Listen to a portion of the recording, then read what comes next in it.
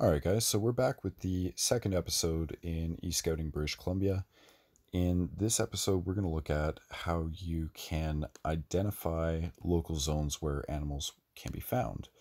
Um, IMAP-BC has, it, it's a very powerful tool um, in what it allows you to do. It does have its limitations, though, um, as you'll see in this video.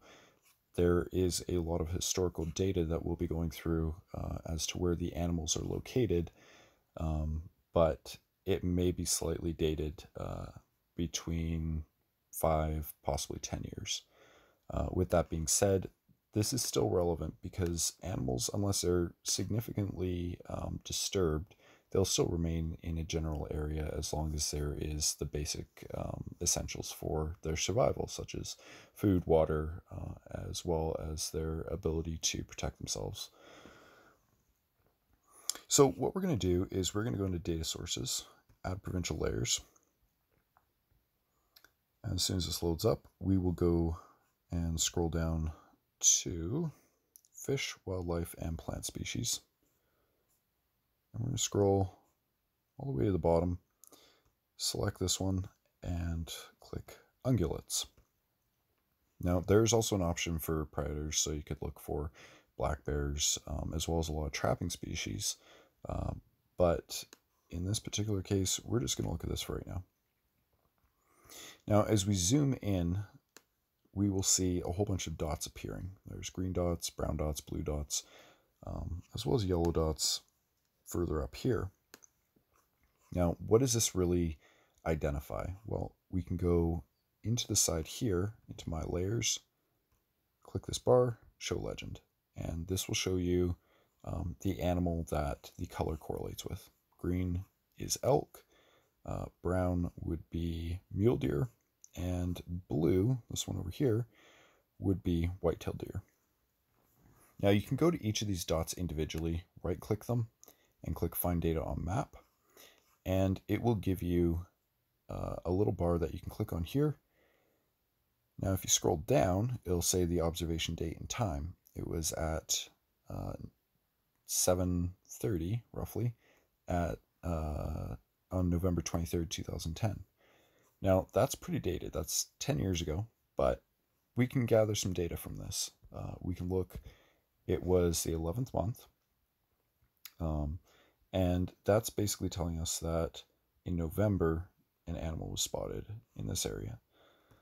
We can also click this one over here and see when was this one sighted? November 25th at 8 o'clock in the morning. Interesting. So we have one over here that was at night, one over here that was in the morning. Uh, let's go down to this one right here. Find data point on the map. Um, click this, and it will say January 28th, 2009.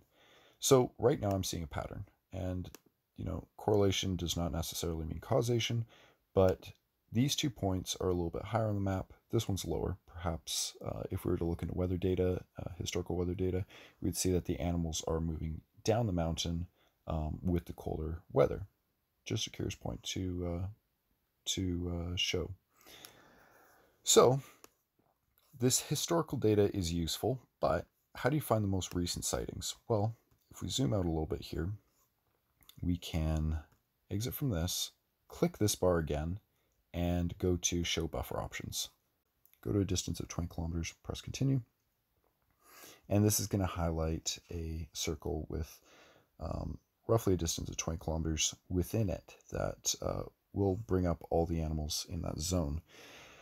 Now, as you can see here, uh, these are all moose sightings. Now, what we want to do is click this bar, switch to table. Now, we can bring up the species that we want to look at moose, elk, white-tailed deer. Um, these are the ones that appear to have the most recent sightings. We'll go with moose for this one. I'm going to scroll over to the side, and you can see January 2009. That's a long time ago. So we're going to um, narrow down our observation here a little bit by clicking this button a couple of times. And here we go. We have a whole bunch of 2020 sightings on moose. Now we can check to see these are all January, January, January, Um, let's go, would appear, most of these sightings are in fact in January. Uh, here's December 2016. Okay. So what we're going to have to do for the most recent sightings, we're going to have to assume that um, the moose are going to be in a similar area through most of the winter, although they do move around quite a bit.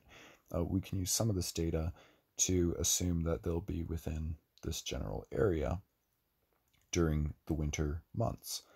So let's click on this one and we can see exactly the area where that moose was sighted. Uh, there was one moose found in this area at that period of time. Uh, down here, if we were to click this one, there's just happened to be two moose uh, that were seen in that area that period of time.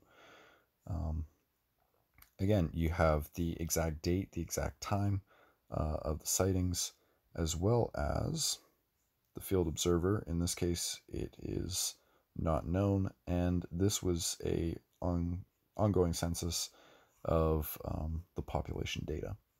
So we can assume that this is quite accurate, and you can kind of sift through this information to see uh, where the animals are, where the most recent uh, data is for your particular area and the animal that you're looking for. So this can go with all the different animals that um, you might be hunting, uh, and again, you can you can work through that right over here uh, elk, white-tailed deer, etc.